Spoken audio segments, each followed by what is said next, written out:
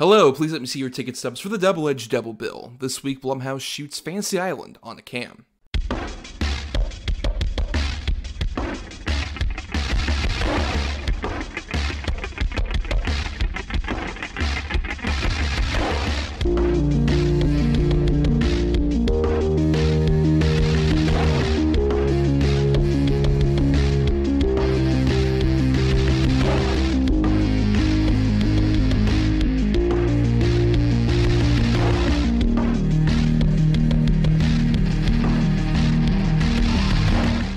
Week, Adam Thomas and Thomas Mariani will come to the table to discuss the randomly selected yin yang of a double feature. Then, both will have to pick a number between 1 and 10 in order to seal their fates for the next episode. When we'll have two good movies, the other two bad ones. Let the chaos begin. I am Thomas Mariani, here to fulfill all of your fantasies within reason. I have my limits. But I should mention here at the top that uh, one of our co hosts is not here this week. Uh, Adam had some uh, last minute work commitments that prevented him from coming on to the show, unfortunately. Um, he should be on next week. That's the plan anyway. And we hope he's doing well out there with uh, the work stuff he had to do last minute. But uh, luckily, we had a guest lined up for this, and a guest who I'm so happy to have back on. Uh, she's a big horror aficionado in general, and she's got her experiences with writing and podcasting, all sorts of great stuff. Miss Jessica Scott, at least I think you're the real Jessica Scott, not a duplicate of some sort. Who can tell at this point? Honestly, I'm not sure myself. So I guess we'll find out at some point. We'll, we'll find out. Yes, we'll see. Uh, but Jessica, uh, we invited you back on the show, especially for the spooky season, as we love doing uh, horror episodes all throughout October. And you immediately jumped on to Blumhouse as a topic, which we're doing because uh, we're putting this out the week Halloween Ends is coming out, and we're all very, very sad that we'll never see Michael Myers again. It's it's ending. It's completely kaput. Ending over. Never see any of those characters again ever. So sad. No. Uh, R.I.P. to a real one, Michael Myers, uh, who has not died multiple times at all. But, uh, but uh, yeah, you know, uh, Halloween is one of the many big sort of franchises that Blumhouse has become a big part of. Obviously, uh, Blumhouse started in 2000 from producer Jason Blum and Amy Israel created the company in 2000. An interesting fact that Israel left the company in 2002, but she's currently the big executive vice president for scripted programming over at Showtime. So she's like the one responsible for like Billions and Masters of Sex being a thing. So any of the good Showtime shows you liked recently, it's all on her. Uh, but uh, obviously, Jason Blum is more of sort of the figurehead of Blumhouse, given he's in the name. And around the time like Paranormal Activity was sort of the start of Blumhouse becoming a major sort of player in the horror world in particular, and that started like also Insidious and The Purge becoming a thing. Those were big, massive franchises for them. The big thing with Blumhouse is always that like they spend very little on their budgets for a big return, uh, because the average Blumhouse production budget is six point seven million dollars, and the total box office gross as of this recording for Blumhouse releases is five point oh six billion dollars. Wild wild indeed yes. And they're also very prestigious in their own way with uh, 3 mm-hmm. best picture nominees whiplash get out blackkklansman. So jason blum has been very successful though we should probably also point out um, some interesting practices uh, behind the scenes and also his words on twitter show that uh, he has uh, some some weird ideas that we don't necessarily agree with. Yeah that's that's one way to put it. Yeah. Um i i think in particular he's not uh he doesn't treat the people who work for him well based on his own words. Um, he you know through the writer and director of 2019's black christmas under the bus uh, when a certain faction of the horror crowd uh, got upset that someone put a, a, political message in a horror movie. Uh, especially black christmas that's so unlike the original movie yeah. completely. Oh yeah the original the 74 version had absolutely no political message no feminist undertones at all. Not at all so no not at all. Yeah and you know he famously said that you know there are no female horror directors no women want to direct horror when obvious you know any horror fan can name dozens off the top of their head. And he has also said that he has to write himself little reminder notes not to verbally abuse his staff. So uh blumhouse as a whole puts out some good movies but it sounds like working for jason blum might not be the best job out there. So especially if you're a woman sounds like. yeah, it sounds like he definitely has uh, a lot of issues. Um, but at the same time, I, I do agree that like, there is still like some very fascinating like directors and writers who at least we mm-hmm. as of mm-hmm. right now we don't know are pieces of shit. Quite frankly, uh, who came up in the world of uh, Blumhouse with like you know Jordan Peele wouldn't be where he is without that, Mike Flanagan, like big directors in the horror community. I'm curious, what do you feel about Mm-hmm. sort of like the Blumhouse style? How what do you think that's contributed, to especially like mainstream horror? it's hard for me to put a finger on it because as you say they don't have huge budgets but there's a slickness to them that feels pretty standard even because maybe that's because i cover a lot of indie horror where things are grittier and more diy and there's um, some charm in them being rough around the edges but there's just a slickness to a lot of the movies um, to the aesthetics um, that sticks out to me with blumhouse it's uh, I'm being a terrible podcast guest right now. It's kind of I I can't describe it, but I can point it out when I see it. Yeah, I I think what's interesting with Blumhouse is they kind of get lumped in with a lot of like uh, the, the other current modern horror trends. Even though I would argue Blumhouse kind of started them. Like even if you look up either A24 or Blumhouse horror movies, you will get the other ones. Fil- like films, Yes. like put in there. The, the, like those lines are often kind of blurred. I think with Blumhouse, I think it's an interesting kind of uh, look at like what sort of modern, especially like sort of like mainstream cinema is. With like Blumhouse makes these like smaller movies, but I think it's only because like Jason Blum has managed to create at least an interesting sort of uh, production factory as it were of these low budget movies where like in in a modern cinematic landscape where like the mid budget movie has died like really the big kings are people who make 200 million dollar budget movies and Jason Blum who like the highest budgets are for like one of those Blumhouse movies are like 20 million or something like that. Yeah. hmm So I think that's that's what's fascinating is that he's definitely become like sort of the king of pseudo indie, I guess you could say, because it's like oh, it's low budget, but it's like they're not really indie movies. Because you'll get like, Right, hey, we'll have like one star in here, like Lena Headey just started that Game of Thrones show, but she'll be in our Purge movie with Ethan Hawke. Um, but what sort of drew you, I guess, then to Blumhouse as a topic amongst all the other horror topics we had? What what do you think is like fascinating about them in general? part of it is me not always knowing distributors or production companies, um, and part of it is kind of that blurring the lines you referred to. I could not remember everything that Blumhouse put out, so when I looked up everything that they put out, I mean, there are some misses i would argue in there. But on the whole there are so many damn good horror movies that they've put out. I just thought it would be interesting to talk about them because there's so much to cover because they really do have some of my favorite movies of the past decade at least in the horror genre.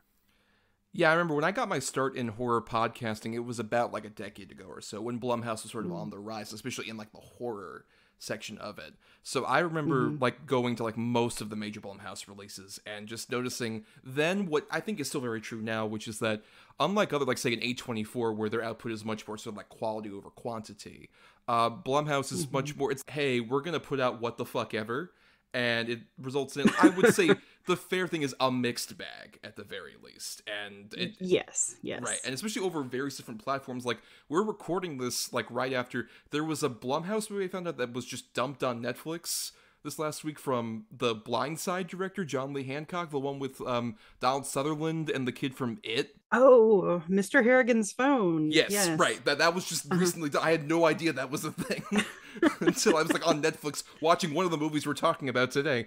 Uh, that's another thing is like they were big progenitors of just like we'll put some stuff in theaters, put some stuff on streaming. They were very much like a you know everything must go sale. We have to like put it out there like a spirit Halloween store in that way. Just like it's all gonna go. But we'll be talking about two uh, very different films in uh, sort of their release schedule, which every week uh, Adam and I usually cover a good and a bad pick we pick at the end of the previous episode. And uh, we end up with uh, first, we'll discuss his bad pick of Fantasy Island, um, and then uh, my good pick, which was Cam. Uh, so let's go ahead and start then with Fantasy Island. Good evening. I'm Mr. Roarke. Let me officially welcome you to Fantasy Island. Fantasy Island! Curious how this all works. What if your fantasy involves a person from your life? Holograms, like Tupac. What if it's somebody who died? Tupac. So, what's your fantasy? Revenge on a childhood bully. Your life is about to change. I hope you're ready.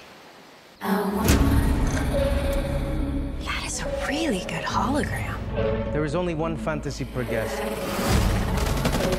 And you must see your fantasy through, It brought her back to life. no matter what. The island's twisting what we asked for.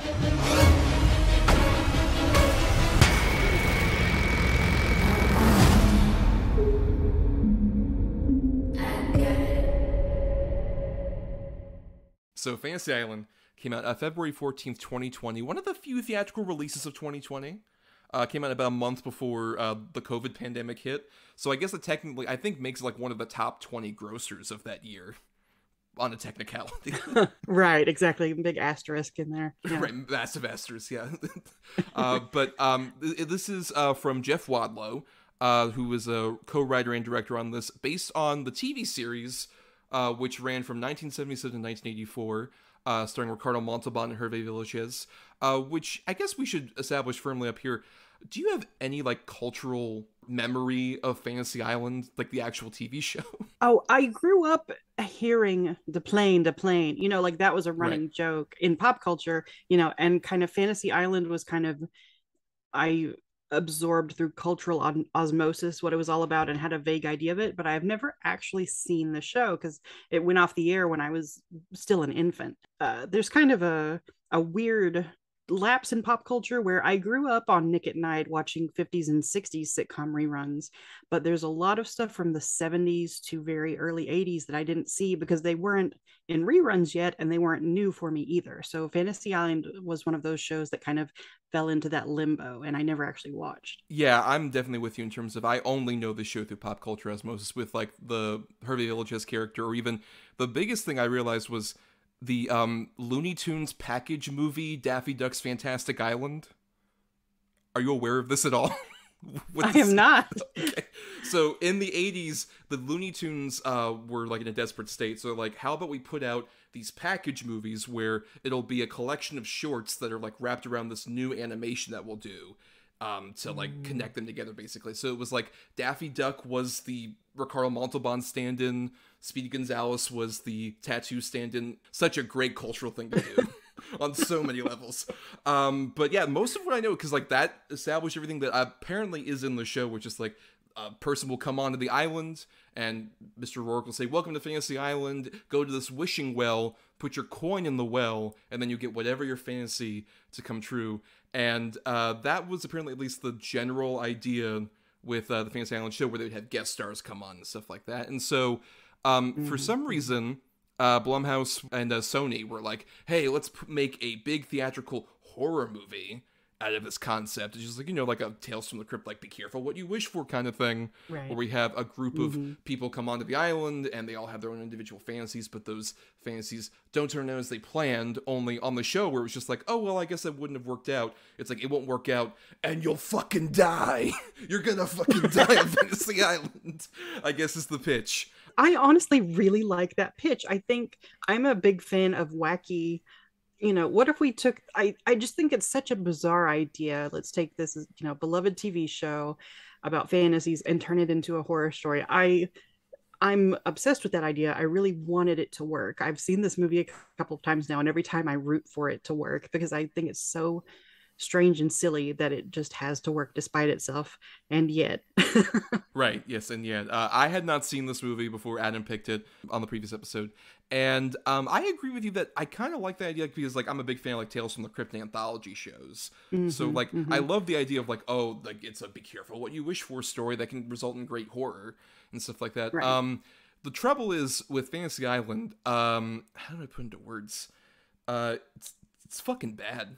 It's really bad, awful movie that just doesn't work with like because it's so totally all over the place. Because you get like everybody coming onto the island, and um, you you have like these various different people. You have Lucy Hale with her fantasy of just like, oh, I want to completely destroy my high school bully. Um, you've got Austin Stowell as this uh, cop who's like, oh, I wish I would have uh, joined the Marines, or I wish I would have joined the army and could have, you know, made my dad proud. Which he ends up having that fantasy. He's like, oh no, I met my dad. Oh no, what a twist in the jungles. I'm, I'm like in Vietnam basically. Um, and then there's like a couple brothers played by Jimmy O Yang and Ryan Hansen. Want to have like the best party possible, and we're gonna be bros together forever, like literal and figurative bros. And like all those stories result in such diametrically bizarre like storylines that they so ham-fistedly try and connect to each other and it's so like this feels weirdly despite the fact that it's a seven million dollar movie um it feels extremely studio noted like this feels like a frankenstein Oh, yes. movie. Absolutely. Yeah, I you mentioned anthology horror. I feel like it could have worked better had we just um, segmented them off where you don't have those tones competing with each other so much because this is such a convoluted movie. I've seen it twice and I still had to Google the plot just to make sure I had it straight because it goes off in such bizarre twists and turns and not in a satisfying way, not in a oh damn that's they got me no just really bizarre twists and turns that you really need a flow chart to follow it um and yeah you've got like maggie q has this really melancholy storyline where she you know she turned down the love of her life and they were supposed to get married and have a kid together there are so many good actors in this movie. There eh, one reason i always root for it is i love a lot of the people involved. I ryan hansen is probably my favorite hollywood douche right now because I, he plays that character so well and he's so likable at it. And i love maggie q i think michael pena is one of the funniest people working today and he gets to play with that a little bit but he mostly is just a guy in a suit for most of the movie through no fault of his own i think and you know michael rooker i think most genre fans really love michael rooker but he doesn't again have that much to work with. And we've got all these different energies and plot lines competing with each other where it's just as you said it's a frankenstein of a movie. It's just this monstrous lumbering thing that you're trying to follow all the plot twists and then you're just like oh okay so that's that's what's happening. Well that i'm glad i spent you know 109 minutes of my life on that Yeah, it, it, like especially with uh, you know you mentioned some of the people like Rooker, like that feels more like such a massive tease for any genre fan. Just like, oh, it's mm-hmm, Michael Rooker mm-hmm. popping up, and it's literally like him. He'll pop up just so randomly. It's just like, oh, I've been on the island for so long. How's everybody doing? All right, bye. And then it'll be like another 15 minutes, and then he'll show up again, and then mm-hmm. another 15 minutes later he gets killed. And it's just like, Yes. like you're getting Michael Rooker here with this like fucking redneck Doc Brown oh wig that he's got on. so bad.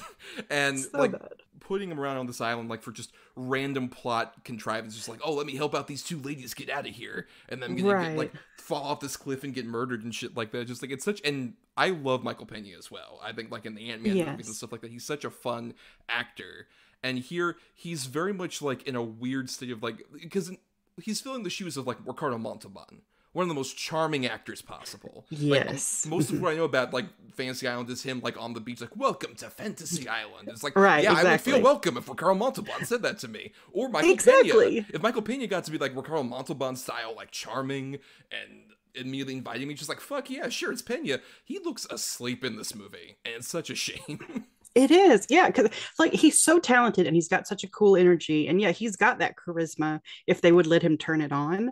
And Rooker is such a really good actor when he's given the chance to like dig into a role and like work with like a really good script. But that is not what anybody in this movie got here. No, yeah, because like Rooker is one of many things where it's just like, oh, let's somehow connect these various threads because all the like initially mm-hmm. for the first half of the movie the various different like fantasies are happening simultaneously.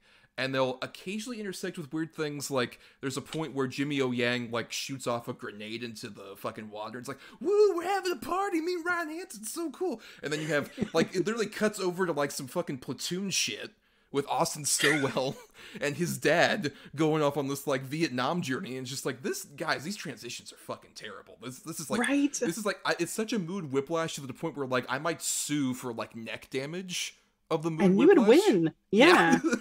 like and Lucy Hale, it's like zombie torture porn. It feels like Right. a Hostel movie, her storyline. Right, with the big fucking beefy doctor dude who just comes Yes, and yeah. like, I'm gonna torture Portia Doubleday. Like, what is this? It god it's it's so many movies crammed into one and i'm i really would like to know what the thought process is behind it because again it's a good idea and maybe if it had been an actual anthology where it's like here's the hostel version here's you know a big giant party at a mansion that goes south but uh, not with you know a drug cartel and hand grenades and things like that and, and Kim Coates. You- oh my god! Talk about wasting people. Oh, Kim Coates is so good too. And then he shows up just to be a generic baddie with a gun. Oh my god! Like I, th- I think that's what bothers me so much is they had a lot of talent in front of the camera, and I'm sure behind, of course, as well. But like, it's just it's such a waste of a good idea. It's such a waste of good people. And again, I I will probably watch this movie again because it's I kind I find it kind of fascinating, but I will never remember all the intricacies of the plot, no matter how many times I watch it. Maybe that's the problem is that it's so like becomes unmemorable that you eternal sunshine it from your mind, and then you're like maybe no, maybe Probably. this is good. Maybe no, maybe it's actually good, but you just forgot. Oh, like no, it's not that good. Um, yeah, I think that's what happened. Yeah.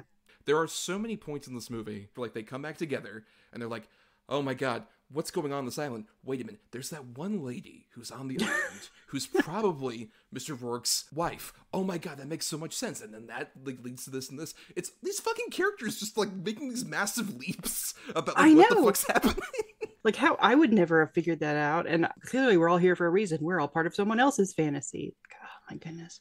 And, and they're noticeably all these scenes are like take place in front of like a weird like either rock formation or waterfall that doesn't look anything like the rest of the actual island like in fiji. Mm-hmm. Like it's just like mm-hmm. clearly reshoot weird shit that's just like oh we this doesn't fucking work at all. We gotta connect these storylines together. And then when they ultimately do connect the storylines it's in this bizarre package that has like a hat on top of a hat reveals where it's like oh my god we were all in the same apartment complex when a big fire raged out and this one guy died who was like the uh, roommate of the two brother characters and uh, the Austin Stowell could have saved that guy but didn't, and Maggie Q caused the fire. And then, noticeably, the sweatiest thing is Lucy Hale just like, oh, I was supposed to go on a date with that guy, but I stood him up. And it's like, hmm, that doesn't seem like you should be that Right. guilty about this. I wonder if there's some kind of ulterior motive to your mm-hmm. character to some degree. Oh my god. And I I almost when we find out that actually Lucy Hale is out for revenge, but not for the original revenge, or it was just an icing on the cake. Like she's like, let me, you know, screw over this girl who bullied me and then get my other revenge. I almost want to respect it because it's so bonkers. Like, here's my red herring revenge plot, and here's my real revenge plot. But it it doesn't work because we already had such a busy, convoluted movie already. I think if it had made more sense and been more cohesive, and then it was like, psych, I have two revenge plots going, I would have admired that just for the the audacity of it. Yeah, because I think what they want to do is something like, say, one of my favorite examples of something like that is like Scream 4 with Emma Roberts' character. Mm. Like one of my mm-hmm. favorite examples, just like we're gonna go fucking wild with the last like 20, 30 minutes of this movie that was just kind of like a Yes. traditional Scream movie before this point. Versus mm-hmm. like, yeah, this movie is so convoluted, like you don't have any kind of base in whatever the reality of uh-huh. Fantasy Island is. So then when things are weirdly subverted like this, you're like, what? What? what? Does, Yeah. I need this to be like you're not subverting anything. It's just like you're adding another. Once again, it's like a hat and a hat to the point where mm-hmm. this movie is a hat rack. It's just too many different hats on one fucking thing. Just like I don't know what this is supposed to be. Who has this many hats? Exactly, exactly. It's it's so bizarre and like it's it's like you said like I could in theory like the idea of like a Fantasy Island movie where you have like Michael Pena as your sort of crypt keeper. That's just like mm-hmm. oh like here's this fantasy like maybe it'll work out for you. Oh no it didn't. Twist. anyway, let's move on to the next thing. But yeah, they have to like really shoehorn together this bizarre like plot where like with with that element of like lacking the reality that we're talking about who the fuck are these like extra characters that pop up in the other fantasies? Are they like initially we're thinking, oh, are they actors? And it's like, oh no, they're like weird monster mutations who when they bleed it's like black blood, and then their eyes just like burst and they're like crying black blood tears. Like what what what is this? I'm gonna have to watch it another seven or eight more times to be able to explain that to you. I I've gotten nothing. Like it's there's just too many ideas. Like there's they want to have ghosts and zombies and you know this kind of monkey's paw revenge story all mashed together plus like a lost thing going on with a, a mysterious island with a mysterious power at the center that nobody really can explain it's they've just they're trying to do too many sci-fi and horror things at the same time Yeah, down to especially like Mr. Roarke's whole thing is like, oh, I have to stay on the island and fulfill the fantasies because I want to keep my wife alive. And then the wife is just like, no, you shouldn't do that. And he's like, you're right, I shouldn't. Bye, wife. but then he's like, "No, I'm gonna stay anyway." Yeah, because I like it here. Yeah, Because you know what? Hey, it's Fiji. It looks, right. This place looks great. You're like, come on, not? right. Um, and leading into the fucking twist slash like fan service bit of this movie that is like Yeah. like one of the most baffling things where um at the end Jimmy O Yang's character like after uh, Ryan Hansen gets killed all of a sudden he's like no not my bro. And then he's like super sad about it. And he's like well you didn't actually have a fantasy fulfilled so you can wish for whatever you want. He's like I want my brother to survive. I want him to be alive. It's like but if you do that you have to stay on the island forever. I'm willing to sacrifice that. So Ryan Hansen shows up in the fucking airplane, implying so many things. Like, is that like a horrible murder version of Ryan Hansen's gonna like kill their parents or something? like, what's what are the implications of that? And then, of course, Jimmy O Yang has been teasing this whole time about like, oh, everybody calls me T because of a bad tattoo I got. I got, I was dared to do the dumbest tattoo possible. Michael Pena's like, let me see it, and it says tattoo, which was the name of Hervé Villechaize's character on the mm-hmm. show. So this now, Jimmy O Yang is It's tattoo. yeah, he's tattooed. Just I I would love to have been in the audience when that reveal popped up and just hear the collective groan of everyone who sat through the movie for that reveal. Like and it can't even oh god. I 'Cause, mean, like, who was who? That that is one of those like fan servicey things where most people who have not seen Fantasy Island, which is anybody who went to see this movie, like any young like Right. teen to twenty year old person who's just like, I don't know, it looks like a fun Blumhouse horror movie. It's like, why do they have this tattoo bit throughout the whole thing? Is gonna be like nonplussed by it. And then anybody Exactly. who actually gave a shit about the show is gonna be like, What the fuck is this? what? exactly. Nobody was clamoring for that. And you're either going to piss people off or just confuse people. And they'll have to Google it when they get home. Like, why was he called tattoo? That it's when you have to go home and Google the joke or Google the reference, it it's not well done. Generally yeah. speaking. I mean, yeah. So- the- um, to be fair, Blumhouse is the one of the few examples where I didn't mind that, which was Split, where most people watching Split to the end and seeing Bruce Willis at the end had no idea who the fuck he was or what Unbreakable was. To the degree that I saw that movie in a theater and I got it, and I'm like, holy fuck, that's happening. But everyone else was confused, including one person in front of me who just said, "Why the fuck is the guy from Die Hard here?"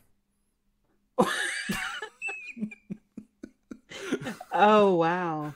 One of the rare examples of like a oh the ending of split explained videos like that Right, you actually need one of those. I get it. Oh god. What a culture we live in, huh? yes we're, we're equalizing or remaking things that most audiences have no idea what the fuck they are. Yeah. yes true. Uh, like of course fantasy island. Um, let's go ahead and uh, wrap up here because we have another movie to talk about. Uh, jessica your final thoughts as i guess the person who will spend her life trying to decipher the clues of Fantasy Island. Basically, like you're gonna be the archaeologist, like Sam Neill in Jurassic Park, just like what does it mean? How does this connect? I honestly I'm gonna watch this movie again. I can just feel it in my bones. But it is not a good movie. I just keep wanting it to succeed despite my knowledge that it does not. So maybe my fantasy is for this to be a good movie, but I keep replaying it and I'm just stuck in a loop. That's the twist. That's Michael Pena's There dark twist. It's just like, oh, you want to watch Fantasy Island more and make it good? Well, watch it as much as you can. oh, I wish we had Michael Pena mm-hmm. doing that. I wish. too. Instead of this, I, I will say that like this is definitely an example where like if it was a more entertainingly baffling movie, it would kind of fit into mm. the sort of train wreck bad that we're like talking about on the show. where it's Yeah, just like yeah. if this was more like consistently like fast, like what the fuck? Were you doing this now? What? What? But the problem is that like there are huge stretches in between these weird turns that are just kind of like dull and are either like you know a bad comedy with like the brother stuff or a mm-hmm. very like melodramatic uh, kind of dull with the Maggie Q stuff, or Right. weird bad war drama. Like I didn't talk about this. The the worst bit of this movie is the bit where fucking Austin Stowell talks to his like fantasy dad about like, oh, you know what? I was born four months premature. That's and you said I was a fighter, like Muhammad Ali. It's one of the dumbest fucking lines I've heard in a fucking movie in so long. Uh, it's it's one of those where like if it was more of that kind of bizarre badness, I would at least say like this is fascinating to decipher, and I could get being like an archaeologist of Fantasy Island. but uh, at the same time, this one is just like it's not nearly engaging enough to justify that kind of thing. But at the same time, I do agree with you about I'm all on board for like if you're gonna do a weird IP resurgence, like oh let's remake this, have a fun weird genre spin on it. Like I know the the Banana Splits movie wasn't one that a lot of people loved, but I like that idea of like we own this property, we're gonna do something with it. How about we make it a weird horror movie or some bullshit? Right. right. That could go either way. Uh, in this case, it did not go very well. No. No. But now uh, let's talk about our next film, Cam. I love this song. I slit my throat last night. Holy shit. What are you looking at? Nothing. She's texting a boy. Alice, I'm gonna tell her. My rank needs to be better. I'm like this close to breaking top 50. I can taste it. Customer support, how can I help you? Hi, I'm locked out of my account and I think you guys are just replaying an old show or something. I don't think that's possible. We can't do that. Okay, well, does it say my channel's live? Yes, ma'am. Hey, we have a new friend. That person is not me. She looks exactly like you. Weird. Who is she? Unexpected things happen to test us. It isn't safe. What is it? I've watched enough to guess who it'll choose. But I don't know what it is. You stole my face and now I'm going to get it back. You stole my face and now I'm going to get it back. Let's have some fun. So, uh, Cam uh, came out November 16th, 2018, uh, from uh, director Daniel Goldhaber and uh, writer Isa Mazzei. I apologize if I mispronounced that, either of those names, quite frankly. This is a horror film about a cam girl, and uh, the screenwriter herself was a former cam girl and drew upon her experiences to make this movie, uh, which is about um, Alice, who uh, makes a living as a cam girl um, and uh, has been doing pretty well at it and is trying to rise up the ranks. But uh, she ends up uh, getting her identity stolen uh, by an exact copy of her that is like doing the cam show on her own and it's like clearly live and it's this interesting sort of twist on sort of like an identity theft story as it were to some extent and uh, this was my good pick and I am personally uh, thought this is an underrated of the Blumhouse movies. I thought it was a really interesting exploration, especially of a sort of sect of sex work that I don't think gets a lot of play in a lot of horror movies. And it's a movie where, at least to me, I feel it does a pretty good job of not playing the sex work in like a negative light as much as just like people's perceptions of it and ultimately you know the idea of getting your identity stolen which is more like an internet in general fear and Mhm. phobia um Yeah. but i am curious uh just because you kind of hinted uh to me earlier that uh this was a bit harsher for you to watch It was. Um, I uh, this was very stressful for me to watch, and I, I that sounds silly to say about because horror movies generally are stressful, but um, it it kind of I sometimes have to uh, pause and catch my breath during horror movies if it's too scary or if it's too intense or if it's hitting too close to home or whatever, and all of Alice's interactions with men in the real world uh, were so so difficult for me to watch that I would kind of have to pause and take a breather after every scene because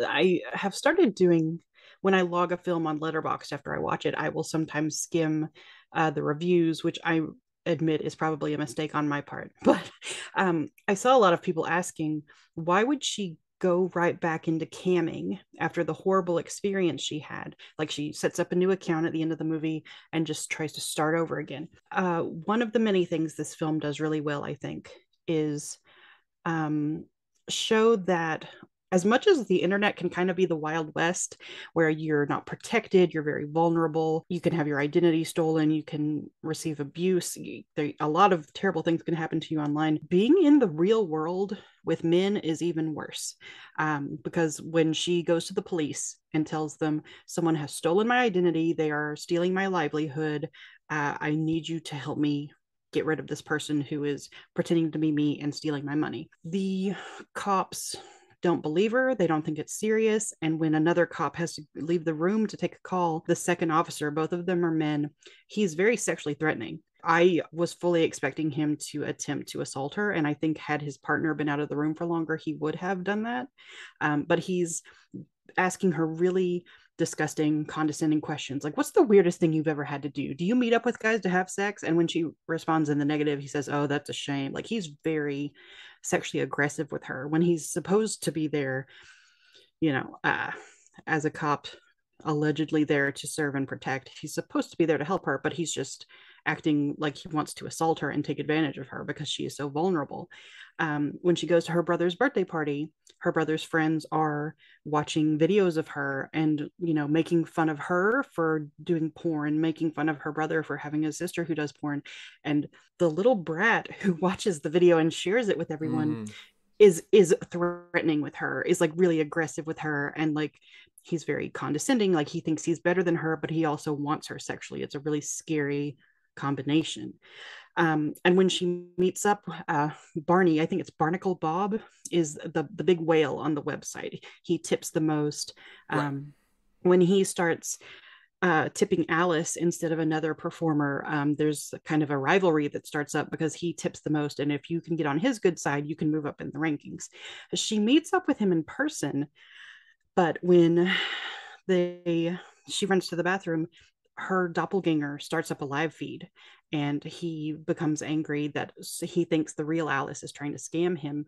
He busts in on her in the bathroom and physically assaults her and pretends that she's his wife and he starts dragging her away to sexually assault her like every man she meets in the real world tries to physically harm her or clearly has intentions to physically harm her it is a very very scary movie to watch um, for anyone who's ever done sex work regardless of gender for for women um, who uh, you know I- can't speak for every woman in the world, but I'd be willing to bet this is a pretty universal experience dealing with sexual assault or people who, uh, if they had just one more minute of opportunity, would be sexually assaulting you. Like, it's really Uh, kind of traumatic to watch and know how vulnerable she is and how she, because of because of just misogyny and patriarchy and the horrible stigma against sex work, how vulnerable she is. She has no one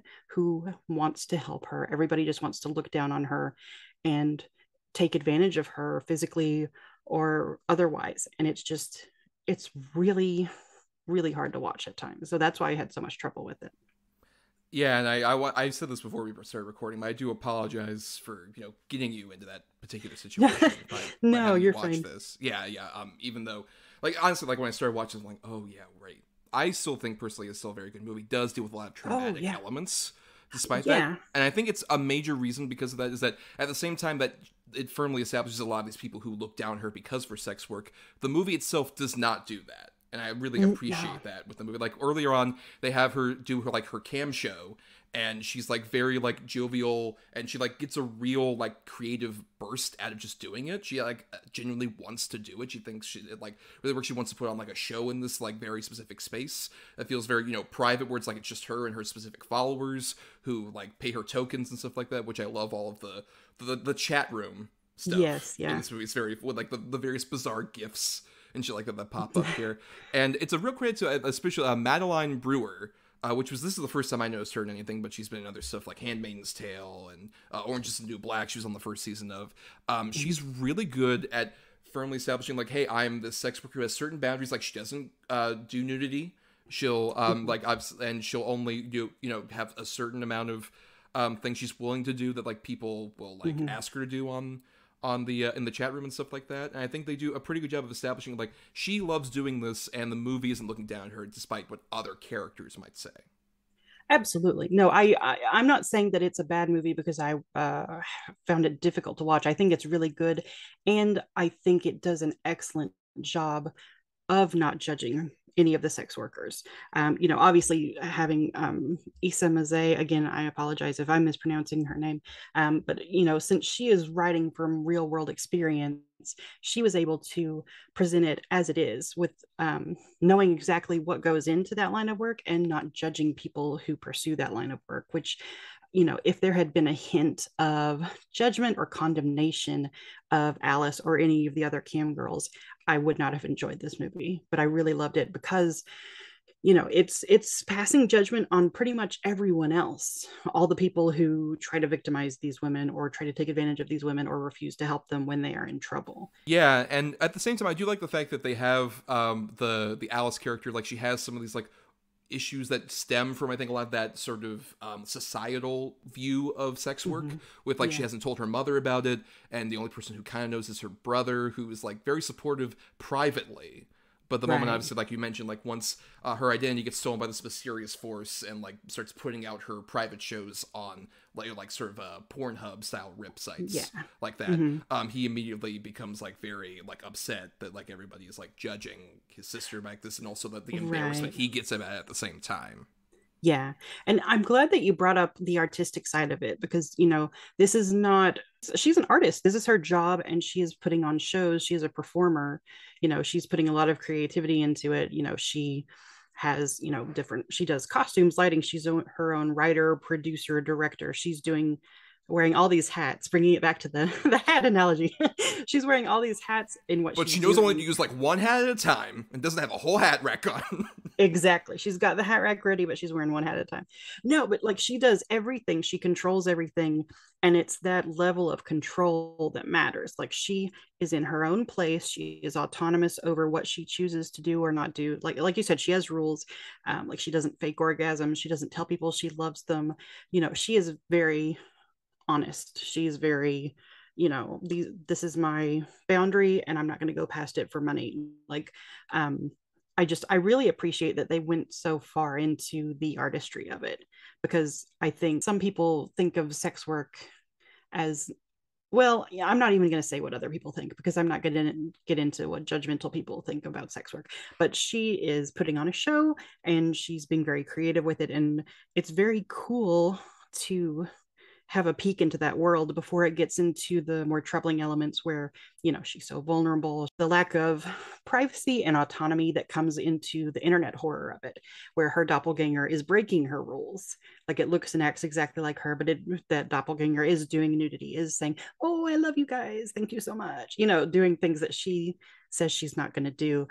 It's um i like that it kind of marries what happens to sex workers in the real world with what happens to everybody on the internet. There's always the chance of having your identity stolen having your persona um, warped and misinterpreted and twisted and taking on a life of its own that you never intended or never wanted. Like i think that idea of the difference between your real self and your persona is something everybody struggles with if they're online at all um, and I think it's a really cool interrogation of that. I've heard some people who had issues with the movie were like, "Oh, I really love the first two thirds until sort of the ending happens mm-hmm. and sort of the mm-hmm. resolution for what necessarily is and what this like actual being is or whatever." But I like that we don't know a lot about what this sort of mysterious being is. It can just stand in for, like you mentioned, like any kind of general identity theft. Like even uh, the screenwriter said that she based it on the fact that like someone did steal like her videos and put them that were like private. Right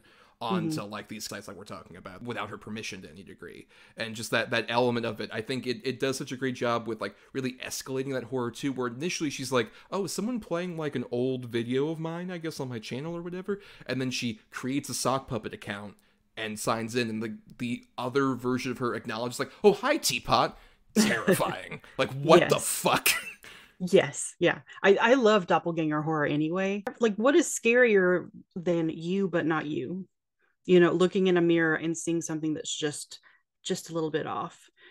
Like i i find that very terrifying. And the idea of putting that into the internet where you're kind of not sure what's you and what's a role you're playing and then it gets kind of multiplied like a virus it's just it's so fascinating. And i there's a there are a lot of internet horror movies out there but this is the one that i like the best in terms of attacking that particular aspect of what it's life what, what it's like to live an online life we mentioned obviously like all this stuff like oh she's breaking all these rules that like the real her wouldn't do this like doppelganger like the one where i felt like so bad for her was the the one where um the doppelganger goes into the library and does one of those yes. like sneaky yeah. things just like oh i'm gonna uh, masturbate in the library and stuff like that something mm-hmm. she would never do that like yeah. completely violates it. Almost it feels like it's this weird kind of like extension of like oh not only is your identity being stolen, but in a weird way your own body is being violated. Exactly, yeah. And it's so upsetting to see. And it really Mhm. makes you empathize with her this whole situation. it, there's a lot of elements of revenge porn in it Mhm. where you know they're t- they're violating her body and you know spreading videos of her that she would never take herself and the fact that it it's only when the doppelganger starts shooting videos that you know her brother's friends see it and it starts press spreading and getting out of her control it's all about controlling your image, your body, who gets access to you and who doesn't. And when she loses control of that because of this malignant outside force, it's such a violation and it, it's so horrifying. That was one of the things that I had so much trouble with because, like, especially a woman on the internet, you have fears like that all the time.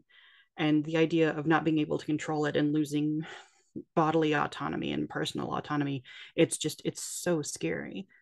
Yeah, and particularly with another element, we haven't talked about him. You mentioned some of the, the various people she interacts with in real life, but uh, Mhm. her sort of number one fan, I guess, as it were, Tinker.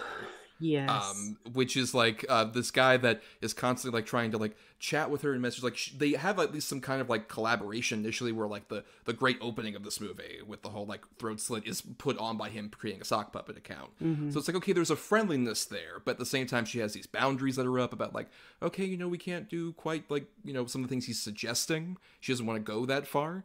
But Mhm. then, as things go along, he starts breaking those boundaries, particularly as he interacts more with the doppelganger.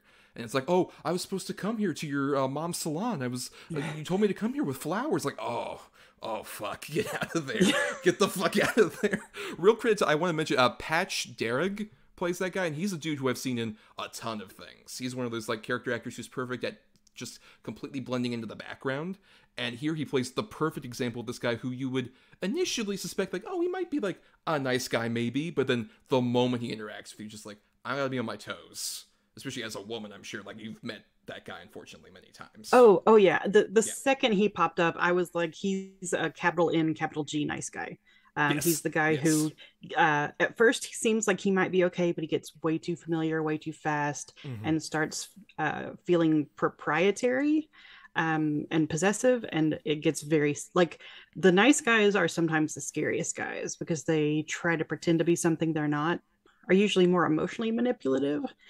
Right. Uh, so yeah, yeah. The the nice guy aspect is very realistic for a woman a woman online, and I'm uh, according to some friends of mine who do sex work, they f- deal with a lot of that. There is so much uh, that goes into that in terms of trying to set boundaries as much as possible and having to do a lot of emotional labor to deal with that kind of thing. The that horrible scene when they're in his uh, motel room because he has moved to Alice's town. He didn't live close to her, but he moved to be close to her.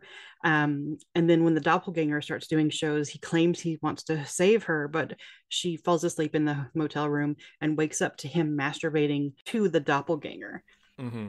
it is such a clear delineation of you know everyone dehumanizes her and the the one guy who claimed he actually cared about her as a person doesn't care that he's basically masturbating to a hologram of her or a sex doll of her. He, she's not a human to him. She's just you know body parts um, and something that he can try to control and possess. And it's it's so scary but it's so sad. Like y- you never expected him to actually come through for her but when it actually happens it's still so depressing. Right. You would expect this guy to be like definitely a weird kind of creep to some degree, but it's like, oh no, you went over to a Yeah. new level of creep, dude. This is like so Yes. fucked up that you're doing this. Yeah. Uh, but yeah, I, I like the fact also that despite I I can see why obviously so many of this stuff can be triggering, like the various different encounters she has, but I like the fact that it shows the various different levels where it's like there's a temptation a movie like this to have like oh just one specific kind of creep then anybody can be like, oh, I'm not that awful. Therefore, any kind of behavior I have is great. It's like, no, this movie shows the various different angles from which sex work can be viewed. Many of the negative ones, but even I like a few of the positive ones that show up. Like when her mother, after that horrible revelation at uh, the brother's birthday party, when they have like the little interaction later on, where it's just like, I re- I watched a bit of it and I loved how confident you were and you really put a lot of work into it. And I'm really like proud that you have this outlet and I wished I could see that more, you know, elsewhere. Like I love the fact that it, they have even a bit of that where it's like somebody can respect what she does genuinely. I loved that moment and I was I was so jealous in that moment that she had a mother who was like very open minded, that she had a, a, support system that was very open minded and very appreciative of all the hard work that she puts into this and all the creativity she puts into this and sees her, like actually sees her. Her mom, and I think her brother as well, but especially her mom is the only person who sees her as a person outside of some of her fellow cam girls and appreciates what she does. And I was just, I, I, this sounds silly, but I was legitimately jealous in that moment that she had that support system in her family I mean, because I was them, like, yeah, some people don't have that. Yeah, I get that. Yeah, and when when her mom, because her mom is an esthetician, and she does her makeup at the end after she breaks her nose to kind of hide the the bump in her nose now, and I was just like, that is love and support. I loved that so much, especially because it kind of obviously not every person uh, who does sex work has that, but it's not always just, you know, oh, women from broken families and they have no other choice. You know, it's not a cliche or a stereotype of a sex worker that you see in some other movies. Right. She actually wants to do that and she puts a lot of yeah. effort. And a real credit to um, Goldhaber with like the actual look of the cam show. Like I love the use of color. I love the variety, particularly even the opening set piece where she does like the fake throat slit and everything. Like it builds a lot of tension, and then the moment she just gets up, just like we reached like fifty three. Yeah, I can't believe we did it. Like yeah. I, I love I love that like element of it. How even like the various different looks, like even when they go to like the weird like YouTube space version of like the right. cam girl hotel yeah. where like they they use the Vibatron and shit like that. Um, it's this like a completely different setup that looks like a lot more like almost kind of harsh lighting and feels like you kind of feel her in this sort of desperation to reach this like ranking thing, which I think is like the most negative the movie is about this kind of line of work only because it's like a weird capitalistic rush to be like I have to be the number one camp girl. Mm-hmm. Like that's mm-hmm. what it is. It's not about sex work, it's just capitalism corrupting camp work. Yeah, exactly. yeah, they're fighting for this, you know, again, this really wealthy old white dude who controls their destinies the you know uh, barnacle bob. He's the, he's the big whale who kind of flips from girl to girl depending on how um, obedient they are to him. And it's all about you know pleasing him to get as much money as possible. It's it's definitely an indictment of capitalism for sure. Oh and that this i felt so bad for her the bit where she reaches 50 and then Princess X, who's the other cam girl who was like getting stuff from Barnacle Bob, is like she drops ten ranks, I'll go nude for the first time. And yeah. that's and the fact that she has to like that Madeline Brewer has to be like still smiling like, oh my god, we reached 50. I'm so glad. It's like dropping 53, 54. Like, oh, oh that sucks so hard. It's such a shame. that like you really feel for her so badly in that moment. Oh yeah, because she's watching her own feed and she's watching Princess's feed and she's watching her rank drop and like the elation is battling with the need to perform and keep smiling for these guys watching her, but she's also just devastated. It's a really good performance in that moment, and I but yeah, it it absolutely broke my heart. And uh, wait, you mentioned the the Vibatron. That was one of the scariest moments for me because I was so mm-hmm. scared she was going to physically harm herself, and the the desperation on her face fighting with the okay can i bail? Because i i, I really think i'm gonna hurt myself here. Like it, it that felt one of the like one of the most exploitative moments not not the film being exploitative but her um uh, giving in to more exploitative uh, aspects of her job to try to keep going further on that ranking Right, and I do like at the same time the movie does have occasional bits of like levity in the middle of that, like during that mm, mm-hmm. sequence, like where it's like, oh my god, like she gonna like potentially lose sensation, which is like the whole right. thing about the Vibatron. There's that yeah. bit where like the people who work at like the sort of like YouTube space area for cam girls like comes in with two menus, like, do you want sushi or pizza? Just off camera. just adds another layer of like, oh no, these are like real people who like want to eat after this, after like working up. Like it, it's exhausting. It seems pretty yeah, fucking exhausting to do that. Exactly. It's like working a long shift at any job, and your coworker runs up like, hey, do you want pizza or Chinese today? You know, it's it's a job like anything else.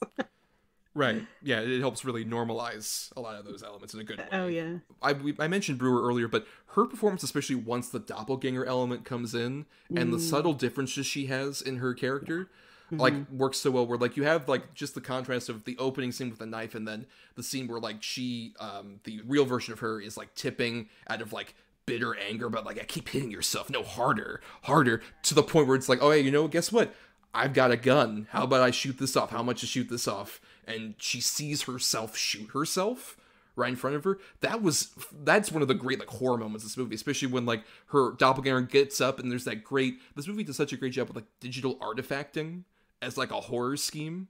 Where like anytime Yes. she digitally artifacts as like the other duplicate, it's unsettling. Oh my god, yeah. It's it's got a like the original pulse kind of vibe to it where the the ghosts don't move quite naturally at times. Yeah, and I'm curious, how do you feel about sort of the ending? Because, like I mentioned earlier, I heard some people were like not as big on sort of like the climax in which she faces off against her doppelganger self. How do you feel that worked as sort of like a big climactic end to the story? Well, I, I kind of have mixed feelings because I think it was important for them to face each other, literally face each other. I'm not sure how much I think how well I think it works like oh I'm going to trick you into giving me your password like I'm I'm not one usually to be like excuse me there's a plot hole sir Um, excuse me, I I have several issues with this film as I detailed here in my forum post.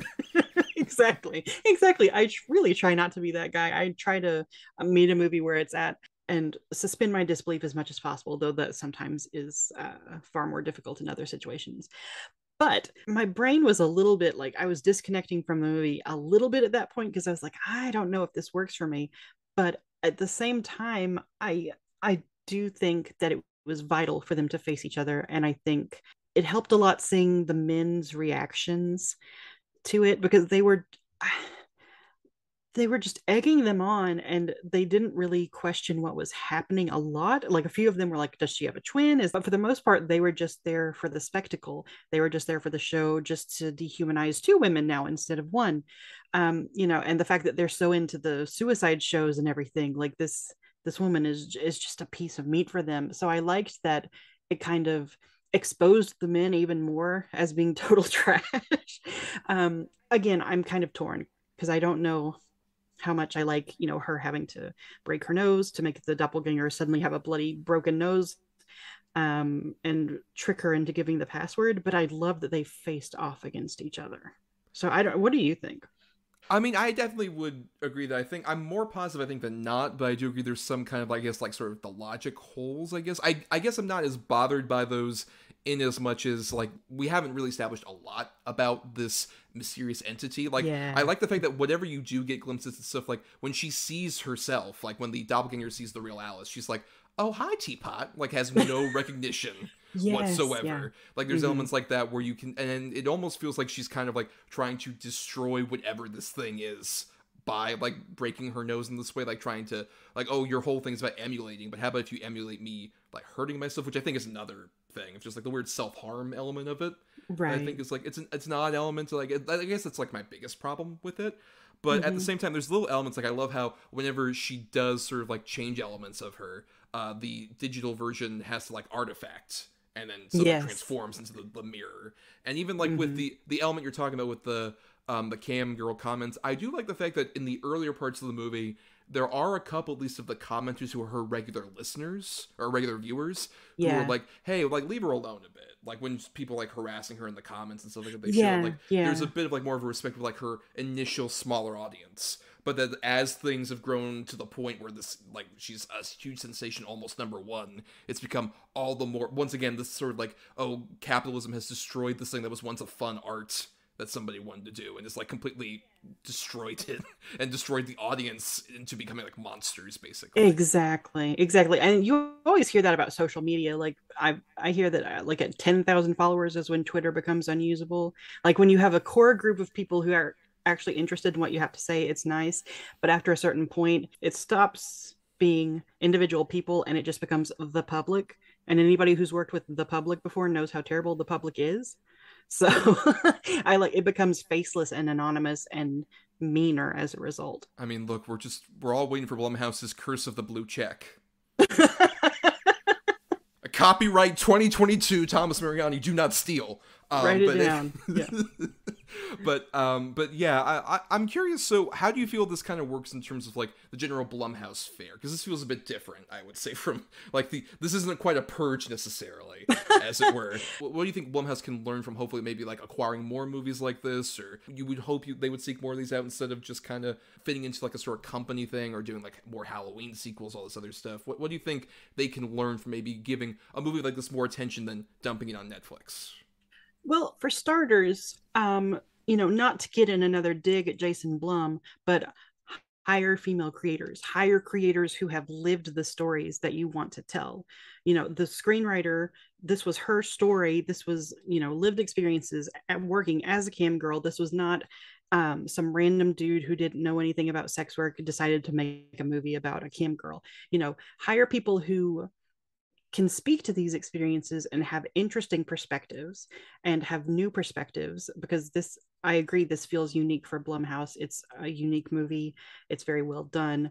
I think just expanding your idea of who is a horror filmmaker will do a lot for you. You know, more creators of color, trans creators, queer creators, indigenous creators, disabled creators, expand your horizons in terms of who you think should be able to tell stories. I completely agree that we would need more of that representation, but at the same time, just on like a selfish level of like I like watching movies as like a cis white hetero dude, which of course a great way to start any sentence. Um, but, but but even like from my perspective, like this is just like a really entertaining movie I hadn't seen before. It's a cool, mm-hmm. different thing. That's why I like really champion this movie amongst like the Blumhouse sort of dreck, as it were, like one that I would especially like like to highlight because it feels like so interesting and unique, and especially at digging into certain things about even like internet horror, like internet horror, like Blumhouse has dipped into that. Well, like say the Unfriended movies, mm-hmm. um, which you you know take of that what you will, depending on your perspective on those movies. But like so few of those internet horror movies, I think really dig into true palpable human fears as much as like very baseline ones about like oh your kid's on the internet and then she disappears or whatever. Like a lot of them kind of dig into that like sort of baseline thing, as opposed to like mm-hmm. ones like this or not quite horror, but I love Searching, a John Cho movie, which is a way better job of like actually exploring what it means to like deep dive into the internet, or even the we're all going to the World's Fair from earlier this year, which I think is a fascinating horror movie about a subject like that. I think a lot of people fear quote unquote niche stories, things that are highly specific and personal and individual, but in my experience, the more specific a movie is to the one creator telling the story, the more specific, the more personal, the more individual, the more unique, the more potential it has to tell a story that appeals to everyone. If you try mm-hmm. to tell a story that appeals to everyone, you will appeal to no one because you won't say anything. But if uh, one person with their story tells what their life has been like, what they have learned, what they have experienced, that is going to appeal to the masses because they we will connect with that person because they are being authentic and they are being truthful and they are talking about things that they know. They're not just trying to appeal to the masses.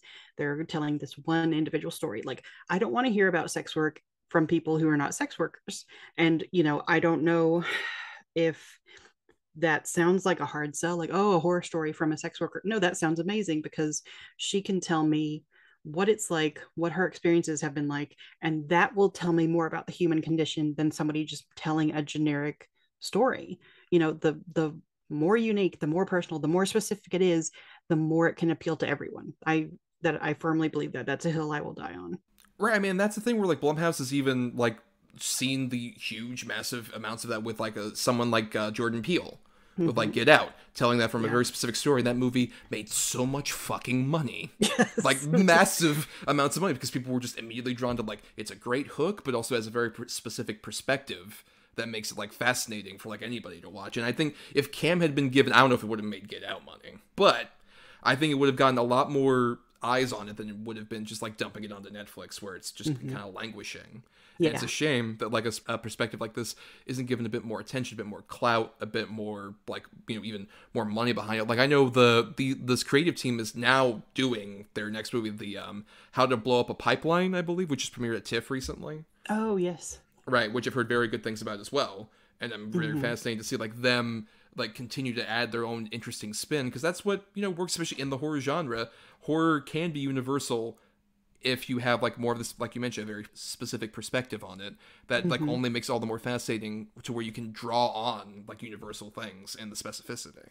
Yes exactly. I said it a lot less eloquently than you did but i got to the point. But anyway anyway uh, we've been talking quite a bit about cam so final thoughts jessica about cam this was my first time watching it so i appreciate you finally making me watch it it's been on my radar for a while but i just kept putting it off and i regret that because it's uh, incredible. I think everybody should go watch it. Uh, yeah, go watch Cam and enjoy because it's great. With a fair amount of trigger warnings, we should probably say. Yes, yes, yes, yes, yes, fair amount of those for sure on that. Um, yeah, I mean, I, I definitely second that. This is definitely a movie ever since it came out, like in late 2018. It's been one that I've championed more in terms of like, oh, what's an underrated sort of horror movie that lot, like, because I've seen all, like, I've seen The Purges and The Paranormal Activities. Thomas, what's an underrated one? Cam. It's on Netflix right now. And uh, you should give it uh, more support. Like, a lot of great, you know, sort of personal horror uh, elements to it. Uh, a great main performance from Madeline Brewer. She definitely became one of like the people like I will watch anything that she does based on like a performance like this. And also that you know Blumhouse, you know, supports more interesting things like this. Halloween's ending. Come on, you got room. Come on. That's all we're saying. But anyway, uh, let's go ahead and go to our usual recurring segment on the show, the double redo. Double redo. Double redo. redo. Double Double redo. redo. Double redo. Double Double redo. Double, double, double, double, double. redo. Redo. That works. So the double redo is a segment where um, usually Adam and I uh, will basically present an alternate double feature based around the topic. Uh, so in this case, uh, we have a good and a bad uh, related to uh, Blumhouse, and uh, I have a good and a bad pick. Jessica also has one.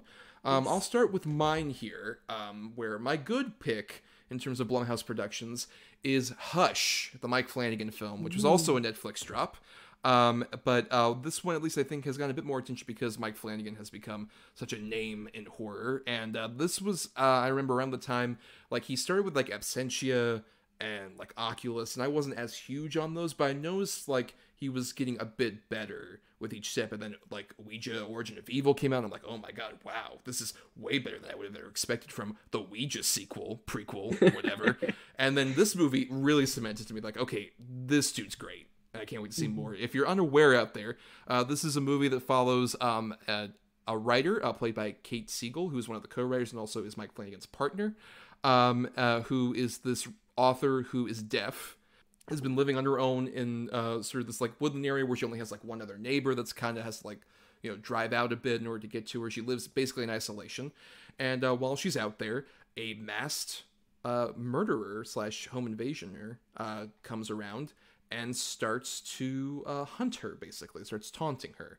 And I think it's a very simple story. It's only like 82 minutes long, this movie, but it's packed in so much suspense and genuine horror and great performances from Kate Siegel and also the, the guy who plays the killer, uh, John Gallagher Jr., which blew my fucking mind when I saw this movie. Like, whoa, that guy from like Short Term 12? in fucking the newsroom. he's like genuinely upsetting, and he's great in this movie. Uh, there's a, it's a really great example of like what Mike Flanagan can do, especially with a Blumhouse sort of like lower budget. And Mhm. he's only gone on to do great work from here uh, with like the Netflix shows like The Haunting of Hill House and then Doctor Sleep. Super underrated, fucking great movie that no one saw, and it's a shame. Um, but uh, yeah, Hush for sure is one of the like the better ones out there. Like if you're looking for a good spooky time on Netflix, Hush, really compact, wonderful little horror movie. And then my bad one, it's a bit more frustrating because uh, there's a lot of talent as well involved in this one, kind of like uh, with Fantasy Island, where it's uh, the Belko experiment, which comes from a script from James Gunn. He'd written quite a while ago, not directed by him, but he wrote it. And a lot of great people like Michael Rooker's also in it, but also like John C. McGinley, John Gallagher Jr. as well. Um, a, a, bunch of great people who are all employees in this office building uh, where they're just going about doing their average, you know, daily tasks, and all of a sudden they hear an intercom speaker go up and say, "Hey, um, we are going to start a manhunt where everybody is going to have to see how many people they can kill, whoever survives to the end basically gets to, you know, have a higher promotion, essentially." And with that premise and the people involved, um, I was like, "Oh, this sounds like it could be a really interesting, kind of dark."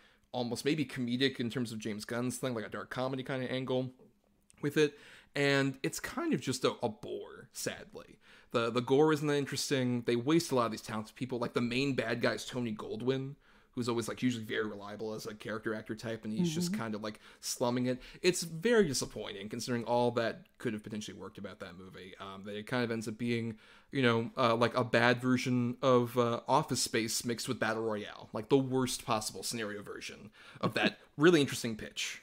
I I have seen Hush. I have not seen the Belko Experiment, but I do love Hush, so I agree with you on that. Yeah, Flan. You're a Flanagan fan? A flan? I am a flan. Yeah, fellow flans here. Flans stick together, Hell like literal flans do. uh, but uh, Jessica, what are your choices? Okay, um, I did not do this on purpose, but my two choices were released right on top of each other. So Fantasy Island came out February 14th, 2020. My choice for the good film came out February 28th, 2020, and my choice for the bad film came out March 13th, 2020. So all of these came out within a month of each other. For my good choice, uh, The Invisible Man, the remake written and directed by Leigh Whannell. I'm a huge fan of remakes that are done well. I think a remake has to do something fresh and different with the source material, and this absolutely does that.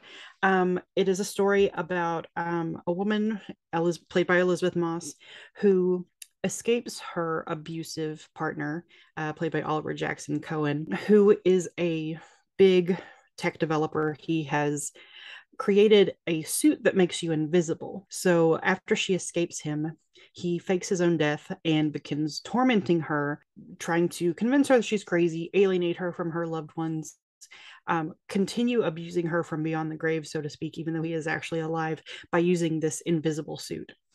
Uh, there are a lot of trigger warnings for this movie. Let's see, how long is this movie? This is it's 124 minutes, just over two hours. The first time I watched it, uh, it took me six or seven hours to watch uh, because I kept pausing it because I was so upset. So, if you are someone who has experience with domestic violence, intimate part- partner violence, um, any kind of abuse, it might be a very difficult watch for you. So, if you go in, please be forewarned. But it is so, so brilliantly done. The effects and the use of space are so frightening. Like it's so often it's Elisabeth Moss talking to an empty doorway or an empty corner of a room and she does a, a really beautiful job. It, I think it handles abuse and PTSD really smartly and really sensitively. Um, it's also just a damn good horror story. It's one of my favorite remakes, which is saying a lot because I, as I said, I'm a huge fan of remakes. I think some of the best horror movies and some of the best films ever made have been remakes. But yeah, it's very scary. It can be very upsetting if you have lived through things like this. So again, please use caution. Um, it might take you six or seven hours to watch it, like it did with me, because I had to keep pausing to catch my breath. Fantastic, fantastic movie that is such a worthy modern telling of you know the classic uh, I think 1933 Universal film. Um, but Elisabeth Moss is fantastic. The whole cast is great. Leigh Whannell is a modern master, and he just does such a good job with this one. All right, uh, my bad choice, uh, which came out less than two weeks after The Invisible Man, is The Hunt.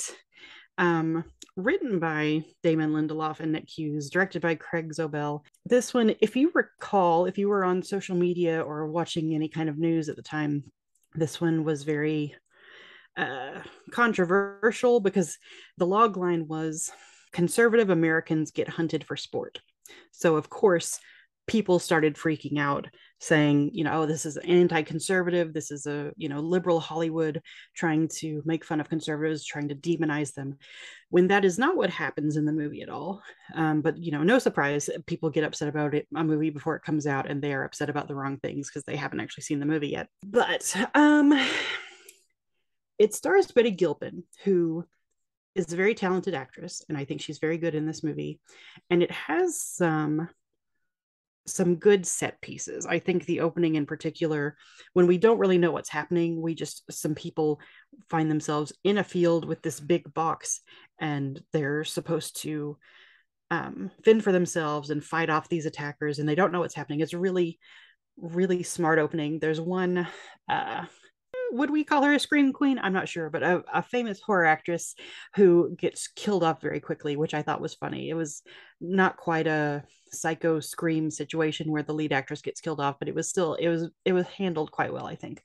But ostensibly, this movie is a satire. It's supposed to be about how fractured our political landscape is in the United States, how much you know, supposedly conservatives and liberals are at each other's throats all the time but it's so the edges are shaved off and it takes such care not to come down on a side that any satire is lost. It's completely toothless. Like it refuses to take a political position. It just says, Isn't it crazy that we're at each other's throats all the time? Isn't it wacky that Democrats and Republicans hate each other? It just, it, satire has to say something, and this movie doesn't say anything. It, uh, it it's basically just forget your differences, try to get along with everybody else, essentially. And it's a really frustrating, really cowardly movie, I think, honestly. I'm, I'm not saying I want it to, you know, demonize a, a group of people and gleefully kill them off. That's not the movie I was hoping for. I, I, was just hoping for a smart movie that had something to say other than, hey, isn't it wacky that people don't get along anymore?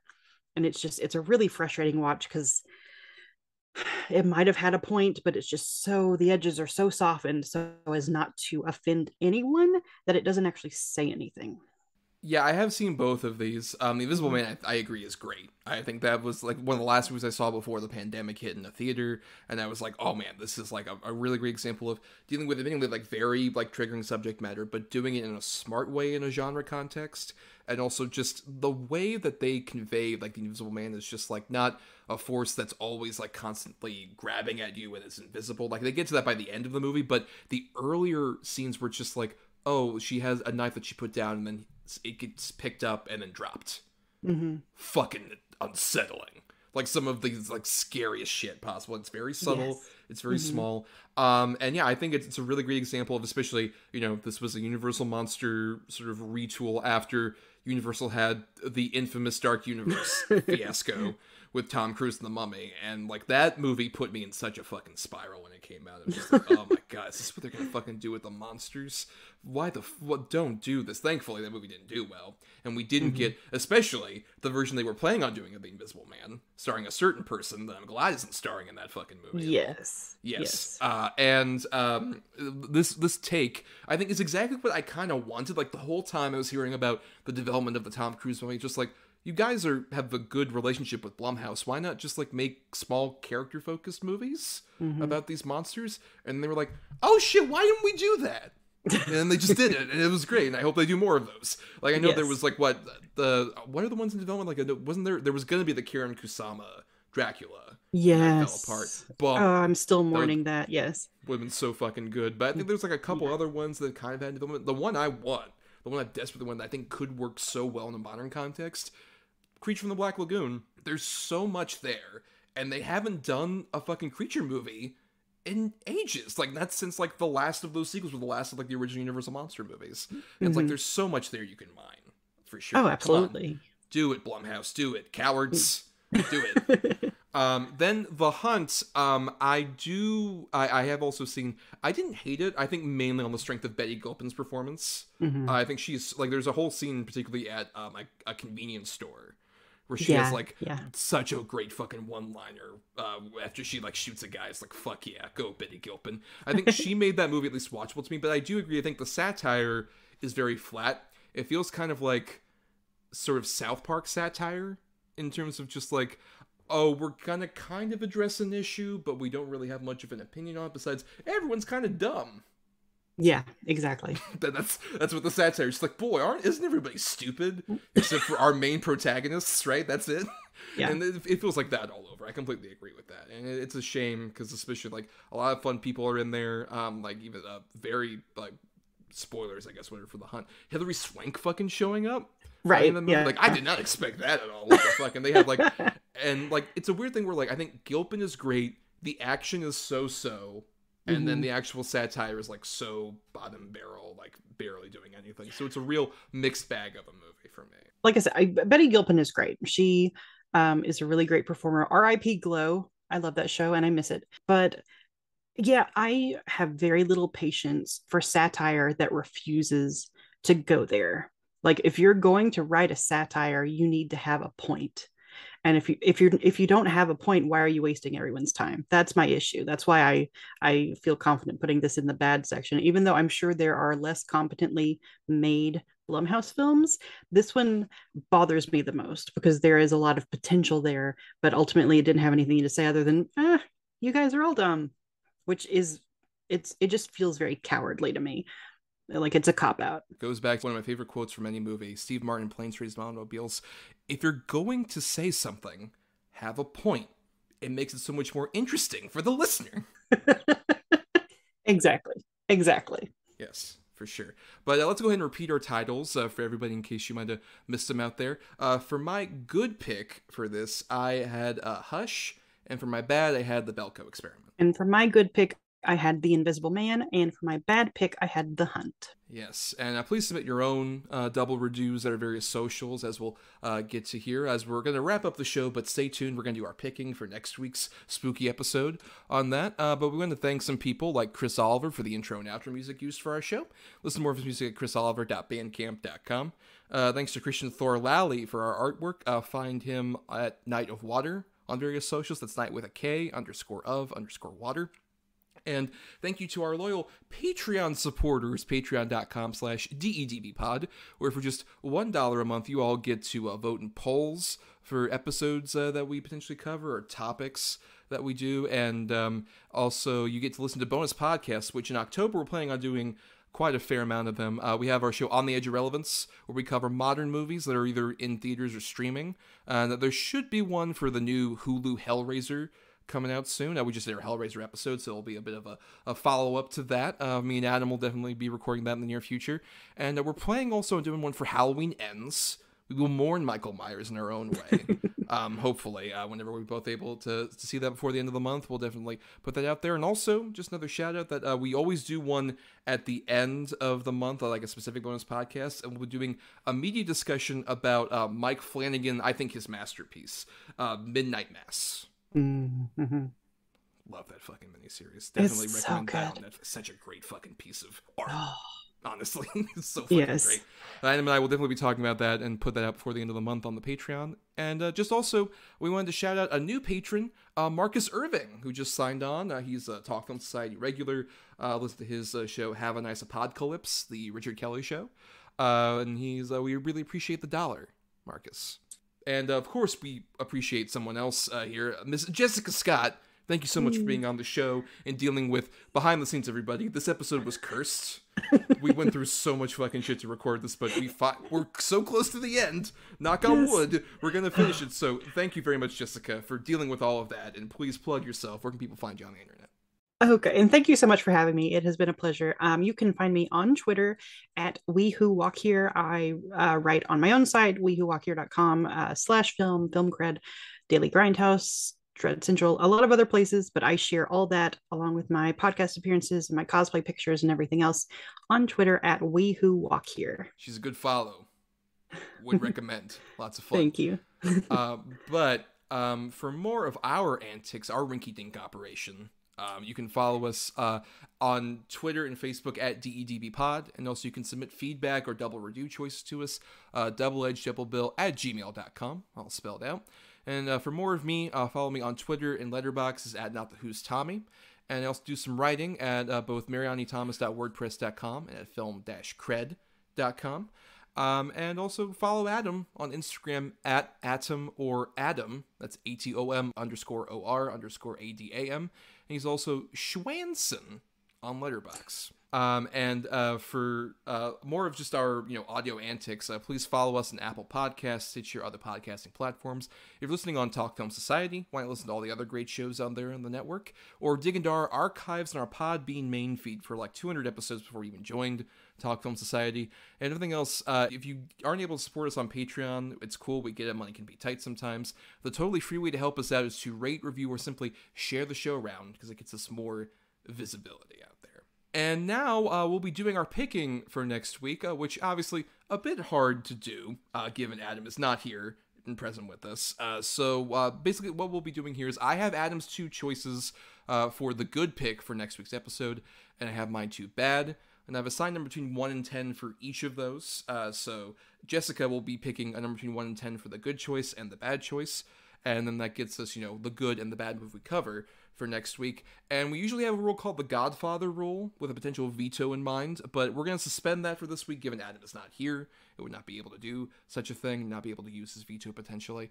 Uh, but we'll still be picking our picks for next week's episode, which, you know, to contrast the modern horror of Blumhouse, we'll be going all the way back as we talk about one of the original cinematic icons of horror, Mr. Boris Karloff. Are you a fan, Jessica, of Mr. Karloff and his works? I am a huge fan of Boris Karloff. Recently saw a film of his for the very first time that I would love to talk about sometime, but I'm excited to see if you picked it. So yes, we will see. Uh, between uh, first, go ahead and pick number between one and ten for Adam's good choices.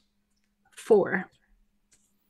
Okay, over at number three, uh, Adam had a pick that I've seen and I really love from, interestingly, the director who made the original version of The Invisible Man, as we were talking about earlier, The Old Dark House. Yay. I chose Will. That... That's an amazing movie. That's not the movie I was talking about, okay. but I'm so excited. yes, uh, that, that's a very great movie. Can't wait to talk about that. But over on the other side of things, over at number seven, uh, he had another great Universal pick uh, that had uh, collaborated between uh, Karloff and Bela Lugosi with The Black Cat, which mm. I also am a, quite a big fan of. Both of those women yes. very good. But Absolutely. Old Dark House, all down for it. Now, Jessica, he's a very prolific man, so he's got plenty of bad ones. For my two bad picks, please pick a number between 1 and 10. Nine. Okay. For uh, number eight, I had one that was I've been fascinated to see because it's got an infamous production to it. Uh, because this is a Roger Corman movie that Boris Karloff shot like three days on, and then his footage was spliced in with footage shot by Jack Nicholson, Francis Ford Coppola, other various people who worked in the Corman School. I have The Terror. Yeah, I'm, I'm, I'm very curious to see that just because of the weird fucking production history of it. I'm so fast. Absolutely, yeah. Yes, uh, but on the other side of things, um, I had uh, one of the more infamous ones uh, over at number one. I had 1940s uh, The Ape, which I've heard is quite infamously bad as well. Mm-hmm. Yes, but uh, so The Terror and The Old Dark House, all on next edition of Double Edge Double Bill. But until then, everybody, uh, just make sure to, you know, give us those tokens and like and subscribe.